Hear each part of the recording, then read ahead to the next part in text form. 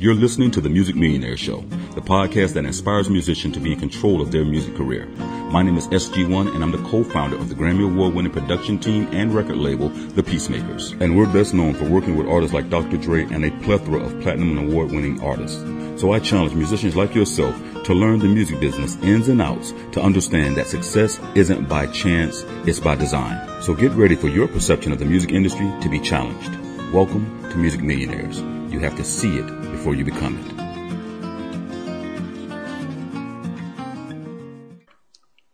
Peace and blessings, family. What's going on? It's your man SG1 from the Grammy Award winning team, The Peacemakers, and welcome back to another Music Millionaires podcast with my co-host David E. Maxwell. David, what's going on, family? All's well, my bro. All's well. How's everything been, bro? Uh, I can't complain. You know, life happens. Life is good, actually. It's, and you know, people say it's what you make it. That's a true statement. no, that's right, bro. You know what I'm saying? You know, I'm excited today because we have a good friend of mine and a very, very, very, very special um, uh, uh, person that's coming on, a friend that's coming on that we're interviewing, a guest. And um, bro been in the game for a minute, man. He got a lot to go on. So I'm excited to talk about that and also share his experience in the music industry and and some trials and tribulations that he's had. However, if you have not, and this is your first time to the podcast, make sure you subscribe no matter what you're listening on, whether it's iTunes, whether it's Anchor, whatever you're listening to, make sure you subscribe so that you can be notified when we put out new podcasts. Also, make sure you stop by our websites, music-millionaires.com and davidemaxwellbeats.com so we can provide some kind of service to you. Dave, um, what's been going on as far as in the news, bro? Oh man, a lot's been happening. Actually, you know, it's just you know, it, it, it's it's amazing sometimes that we see a lot of things that go on in the news and things that we can relate to in our personal lives. You know, it gives us confirmation. And for me, a lot of it, it gives also motivation to continue to do what I'm doing to provide for my family.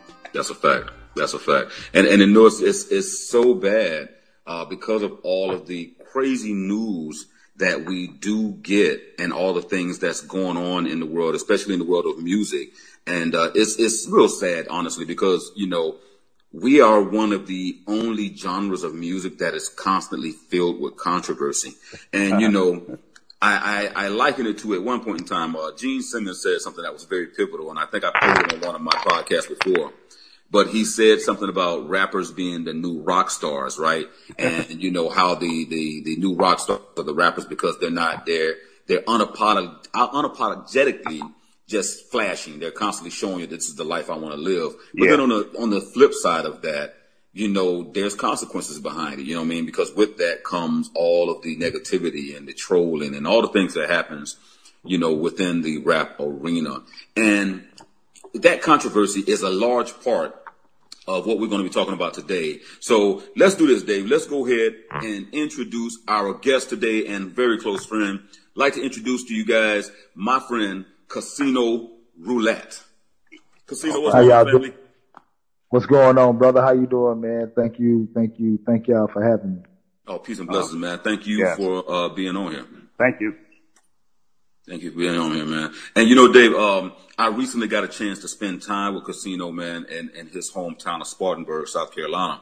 And um, got a chance to really, really get a lot of insight. And me and Casino chopped it up, man, and uh, it was it was beautiful, brother. I mean, we, we spent the entire day together and um, learned a lot about each other, brother. And uh, really want to say, man, thank you so much for all that you did, brother. And and um, especially lunch. Thank you for lunch too. I mean, that spicy food got me. But, uh, Casino, let's do this, brother. Uh, if you don't mind, can you inform our audience who you are, what you do, and then basically let's go into you know a little bit about yourself. But tell the audience who you are exactly. Um, who am I? I'm a survivor. Um, like you say, my name is um, Casino Roulette. That's C A dollar sign I N O R O U L E T T E. I'm originally from Atlanta, Georgia, but like you say, I now reside in South Carolina. Um, I've been in the music industry for quite some time now. Um, I just recently, within the last few years, started to, you know, uh, build up my fan base, started to um, build up my notoriety, such as in my surrounding areas. Um, who am I? I'm just an average man, you know, on a mission to change the world if God allow me to. You know what I mean? Through music, through my story of trials and tribulations, my stories of survival, my stories of, you know, never giving up.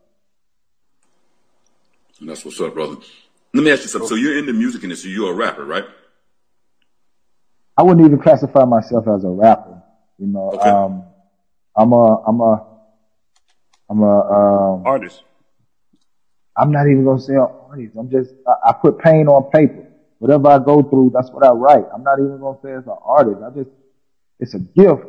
I don't even know what I do when I do it until after it's done. You know what I mean? I hear the voices that tell me what to say and as I repeat it over and over and over, it becomes audible enough for me to understand it, then I write it down. So whatever you call that. Messenger. Thank you. That's what I, that's why, I, that's why I wouldn't even say an entertainer, a rapper, or artist. There you go, a messenger. That sounds, that sounds more right. like a prophet okay. because it's coming from somewhere else other than myself. Cool. Right, right. And, and that's one of the reasons why I mentioned that.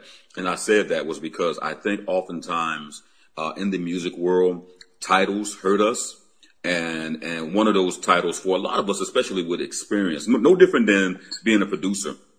You know, for most, most artists, um, keyword being artist, is we don't like the stigma of wearing a title like rapper. But when people go to your Instagram page or they may go to your Spotify, they may interpret that from you that you are a, a rapper. But when right. it comes to the diversity that you are as a musician, just from what I've heard in your music, you are so much more. And and and and David hit it right on oh. the nose, man. Yeah, you know, a lot of times people also they want to know. They say, okay, who is this person? And right away, people identify you with what you do. But the question is, who are you? Not what do you do? And that seems to be the uh, the, the going the stigmatism that that's placed around us because of what people see. They think that's who we are. Right. Absolutely. Now, um, Sino, what what you working on right now? Are you working on any projects? Um, actually, I just recently put out my latest single, um, PTSD, which is, um, exactly what it is. PTSD, a traumatic experience, you know, that you go through after suffering a scary event, you know. Um, so I just recently, uh, finished that project going out. Now I'm, um, actually in the midst of, uh, promoting that project as well as making way for something new, which is my new gospel record, I've just actually, um, I just actually prophetically um, written down and now want to record and put out for the world. So that's my latest endeavor. But my project PTSD is out now. So, and, and for those who are listening, you know, um, PTSD basically stands for post traumatic stress syndrome, or is it, did I say disorder. it right? Disorder. Post traumatic stress disorder. Okay. Yes, sir. And it normally comes from uh, experiencing a tragic event or something so traumatizing that it creates. Uh, what's the best way to describe that? How, how would you describe what it creates, Casino? It creates um, depression. It creates confusion. You know, um, all the things that's negative to a productive life. It causes that. Right. Right. And, and I would agree with you. You know, I mean, you know, my, I myself, and I share this openly now with people, you know, went through a situation a couple years ago where I, I witnessed my son kill my best friend and, and my, my, my brother, my security guard. And, uh, I definitely suffered from that PTSD, you know I mean? And, and, and, and was, depression was the main thing that set in for me, mm. you know, um, because you experience something like that and, and it's, and it's very traumatizing. And so, obviously, with a, uh, a music composition called PTSD, there is a story or a backstory behind the motivation to this particular track. Correct? Yes, sir. Now, Casino, let's let's let's let's do this. Let's talk about the backstory, the the the essence behind the PTSD um, track. Let's let's talk about what was the core behind you creating that music. If you don't mind sharing, it was little less or little about eight months ago. There was an incident that happened in your life. Yes, sir. Um, June the 2nd to be exact, 2018, I was riding passenger seat in the car with my brother, um, rapper, Love & Hip Hop star, Lil Scrappy. We was in Miami. You know, we had just finished, um, doing a, um, show in South Carolina that I had through, um, Friday night. So as we leave South Carolina, you know, after the show is done, you know, I drive from Union, which is where the show was, to my home in Spartanburg.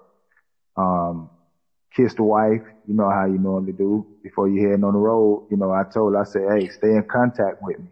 You know, because that night, you know, it's crazy to say this, but I felt like something was going to happen. I didn't know what, you know, I knew something was going to happen after the night because I started feeling like that. You know, let me, let me do a little backup because before Scrappy was able to come to my house, he had to get his wheel off of his car. You know, his wheel had welded onto his car. And this is something that don't normally happen. His wheel had welded onto his car. Like the lugs had pretty much grinded so far in to where it didn't, it had welded the tire onto the, the, the, the, the, the part of the car. Wow. So he sent me pictures. He was like, bro, I might not be able to make this. Now we had just re, we had already, um, rescheduled the show because the show had initially supposed to be in April.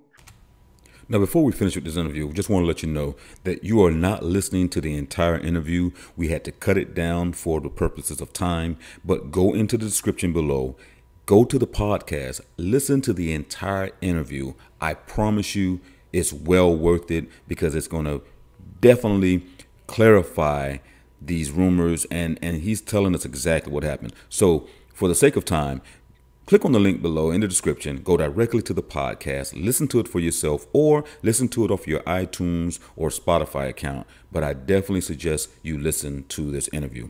Now we're going to go back to another portion of the interview. And, and what I was trying to get to, Casino, was as, as I'm marking all this stuff down, you felt you felt like something internally was going to go down because so you made the statement to your wife, make sure she stayed in contact, right? Yes, sir. And, yes, sir and in the midst of that preparation to go out of town with Little Scrappy and, and you guys uh, do what you need to do, he contacted you about a wheel issue and that you possibly he possibly wasn't going to be able to make it because of that lug nut or bolt being welded onto the daggum wheel. Correct? Yes, sir. In the midst of that, driving, you hit a pothole, right? Another sign.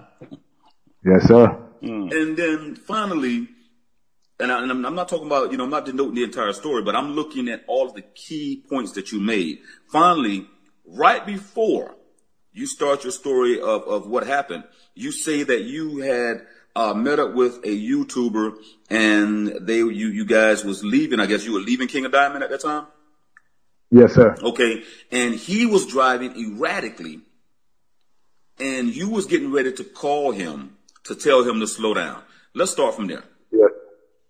Yes, sir. I was getting ready to call him to tell him to slow down. And like I say, I don't know. I guess I, I, I fell asleep, you know, um, but backing up just a little bit, like I, like, like you said, uh, my wife, she still remind me of this to this day. Like she was like, I don't know if you knew something was going to happen or you felt that she was like, because the, that look in your eyes, she was like, it was like you, she was like, I, I just can't explain it. Mm. So, you know, like I say, I was getting ready to call him and tell him, man, slow down. You don't know where you at. But nonetheless, I guess I, I fell asleep. And from that moment, I woke up because the reason why I woke up is because I felt the car drifting. You know, like, like, like, I, I don't even know, you know, I can't even say, but I just felt the car drifting and it made me wake up. And when I woke up, we was moving and I looked over, Scrap was asleep, mouth wide open. He was knocked out. Uh. I said, bro, I woke him up. And when I woke him up, he looked at me. He said, huh? And I guess in the midst of being startled, he hit the gas instead of the brake. You know what I mean? Yeah. So when he hit the gas, I said, oh shit. And I put my hand on the dashboard. I said, oh, stop, bro, stop. So I, in the midst of me putting my hand on the dashboard, something told me to move my hand. So I pulled my hands back. And as you can see, like you see like it's like the car sped up. That's when the you see it like skipping in. That's because it's in, it's on the sidewalk and on the street still. Mm-hmm. So, uh, but as he's turning the wheel, I can see. I said, "Oh shit!" I see this big pole, this big column coming towards us, and it's mainly in front of me. I said, "Oh shit, bruh!" Boom, and we hit. Wow. And when we hit, I said, "Oh Lord, oh Lord!" I took the seatbelt off and I jumped out. Lord, started patting my body. Thank you, Lord. Thank you, Lord. Thank you, Lord. I was just patting my body up and down because I, I felt as if I didn't know if it was like a ghost moment, you know, like I'm out of my body, but I think I'm in my body. So I'm just patting my body. Mm. So then I turn around and I look at the, look at the car, that's, you know, cause I'm looking at the car to see if my body's still, still in there. You know what I'm saying? Because I don't know if I'm having an out of body experience. Right. Yeah. So I, wow. Wow. Yeah. Yeah. Yeah. That's real. So that's when I turn, so as I turn and look at the car, I see Scrappy. You know, the airbag is out and his face is toward me and it's filled with blood all on the airbag in his face. I said, Lord, it can't end like this. Lord, don't let it end like this. Mm. Now, guys, again, I didn't want to play the entire podcast. You got to go in the description below. Go listen to it for yourself. It is a story that is phenomenal. There's many rumors behind it. There's been many speculations. There's been a lot of assumptions. But to hear it out of Casino Roulette's mouth firsthand, what happened will definitely become an eye opener for you. For all those who knew, or for those of you who didn't even know this happened, I suggest you go into the description below, listen to the rest of the podcast,